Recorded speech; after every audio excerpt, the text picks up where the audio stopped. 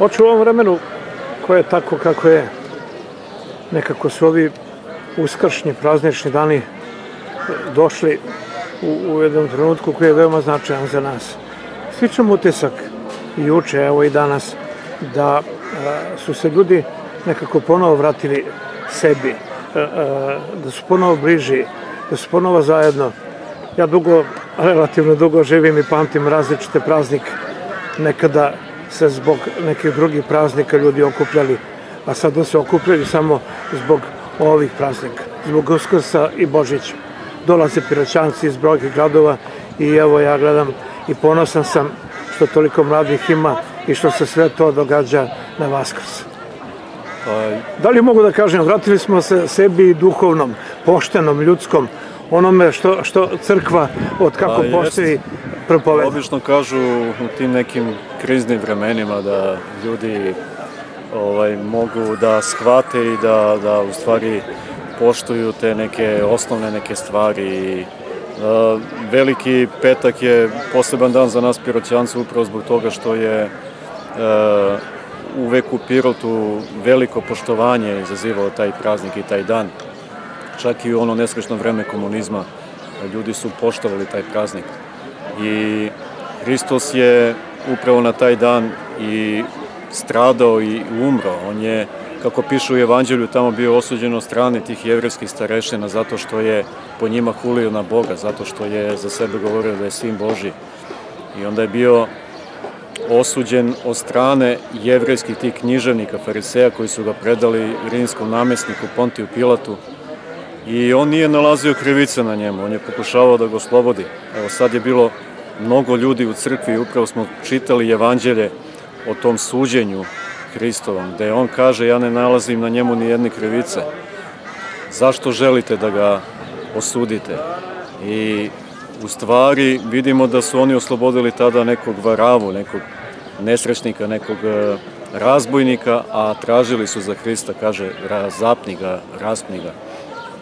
I zaista je tako i bilo. On je predao Hrista vojnicima i vojnici su se rugali, stavljali mu venac od trnja na glavu, govorili strava cara judijski, klanjali se pred njim kao da je on nekakav car. I na kraju je bio u stvari i razapet na tom brdu Golgoti, što znači u stvari na jevrskom lobanje. A, bio je razapet sa još dva razbojnika, sa, jedan je bio sa leve, jedan sa desne strane. Ovaj sa a, desne strane, on se u stvari pokajao, ovaj sa leve strane mu se rugao, govorio ako si ti Hristos, ako si ti zaista Bog, ako si sin Boži, siđi sa krsta pa pomozi i sebi i nam. A ovaj sa desne strane se pokajao pa kaže, E, gospode, seti me se u carstvu tvome, a njemu gospod kaže, zaista, zaista ti kažem, ti ćeš sa mnom biti u raju. I zaista Hristos je i umro na krstu, kaže od 6. do 9. časa, upravo je to sada to neko vreme, jer su jevreji računali vreme od izlaska sunca.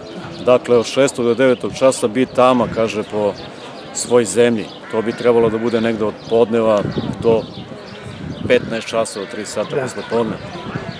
I onda je u 15, u 9. 9. časa ispustio dušu, on je umro na krstu i upravo u to vreme, u 3 sata posle podne, počinje i večernja na veliki petak, Da. Kada se u stvari iznosi plaštanica, plaštanica je u stvari a, platno na kome je prikazano telo Hristova, odnosno njegovo skidanje sa krsta toga tela i polaganje u grob.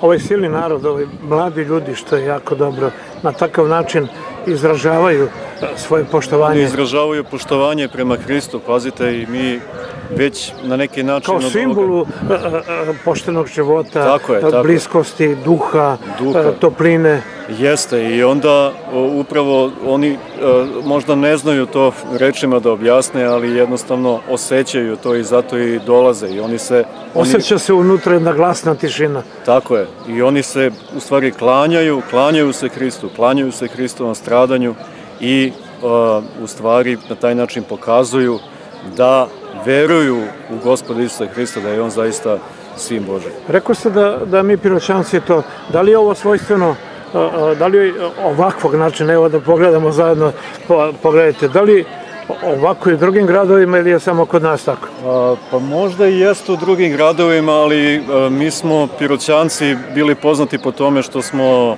a, i ranije, pa čak i evo ima dosta ljudi koji je otišlo i u- baš u ovo vreme u Jerusalim, da smo ti čuveni hodočasnici koji smo odlazili na hodočašće tamo u Umeli da poštujemo. I mi to poštujemo i nije ni, ni čudo što su nas nazivali, nazivaju nas i dan danas takvim gradom, malim Jerusalimom. Jerusalimom. Jer ima taj duh postoji, duh e, gde, gde mi u stvari osjećamo to i gde mi u stvari na poseban način izražavamo to poštovanje. To što se mi provlačimo ispod plaštanice ima svoju duboku simboliku. To je naklon. Jeste i naklon, ali na neki način, pošto je to grobnica Hristova, znači na neki način e, simboliše i to na neki način Hristovo vaskrsenje, jer oni ljudi prolaze kroz grobnicu, ulaze u grobnicu, kao što su učenici nekada ušli u nedelju rano ujutro Marije Magdalena i ti učenici njegovi stvari videli da Hrista nema, da je on vaskrsao. Ja se vratiti u realnost onako kako sam počeo e, o praznicima državnim, mnogim i tako dalje. Evo ja ću vam sad iskreno kazati kao čovjek koji ima toliko mnogo godina. Nama su ostali kao neko predivno osjećanje, kao prilika da se sa svih strana sakupimo ovakvi praznici.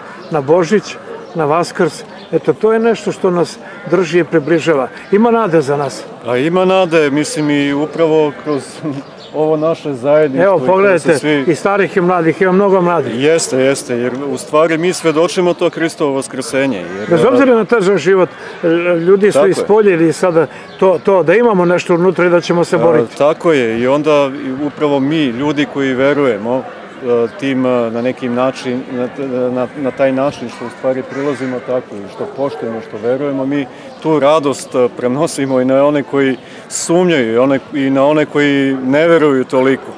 Ali važno je u stvari da se to vaskrsenje Hristovo slavi na taj način, u stvari da mi imamo uteku, radost, da ipak taj, ta smrt, kako je nazivao sveti apostol Pavle, poslednji neprijatelj čoveka, da to ipak nije nekakva konačna realnost, nego da postoji ta uteka i radost da je ipak Bog jači od smrti i da je spremio ljudima nešto što je lepše i što je bolje. Ova duga kolona dobrih ljudi će koračati sa večeras do koliko i šta dalje. Pa da, večeras u stvari na veliku subotu imamo služi se opelo Hristovo, odnosno Kad kreće Gospodu? Isu Hristu u 11 sati uveče, znači 23 časova. Aha. A posle toga imamo i oprod oko hrama kada ljudi sa svećama i sa, naravno mi sa plaštanicom idemo oko hrama, zatim ulazimo unutra i počinje sveta liturgija, na neki način počinje proslava Vaskrsa već noćas. Na veliku subotu. A na Vaskrs, na sam dan Vaskrsa, u 6 sata ujutru počinje paskalno jutranje i onda naravno i liturgija Vaskršnja svečana. Ja bih pozvao sve naše verne, sve one koji poštuju crkvu, koji žele da proslave na pravi način Hristovo vaskrsenje. Dakle, ne samo kroz neki folklor i kroz nekakve Tako je. običaje, jer običaji nemaju tu taj smisao ukoliko zaista ne svedočimo svojim delima i svojom... Ako tu ne doživimo sve. To je to, tako? jeste, tako je.